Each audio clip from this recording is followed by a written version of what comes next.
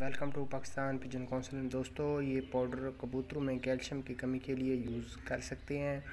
हमने यूज़ किया है, इसका अच्छा रिज़ल्ट है और एक बात कि अगर आप इसको पानी में मिक्स कर देंगे तो कबूतर पानी को आसानी से पी लेते हैं, कोई मसला नहीं होता। कुछ पाउडर होते हैं कि कबूतर पानी को नहीं पीते, बट अगर आप ये पाउडर यूज़ करेंगे तो इसमें आपको कोई मसला पेश नहीं आएगा, कबूतर बसानी पानी पी लेंगे। इसका हल ये है कि आप इसको पानी में मिक्स कर लें। बाकी कबूतरों के आगे रख देंगे। इन कबूतर आसानी से पी जाएँगे, कोई आपको मसला पेश नहीं आएगा। ये चेक करें कि हमने इसको मिक्स कर दिया है और पानी को हिलाकर इसको अच्छी तरह मिक्स कर देंगे।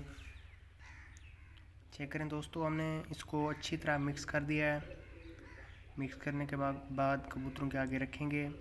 और कबूतर इस पानी को बसानी पी लेंगे। कोई मसला पेश नहीं आएगा। कभी कभार कोई बंदा पाउडर यूज़ करता है और, या कोई सिरप यूज़ करता है पानी में तो कबूतर वो पानी नहीं पीते। इन इस पाउडर से आपको कोई मसला पेश नहीं आएगा। ये हमने यूज़ किया है। आपको वीडियो में भी दिखाते हैं।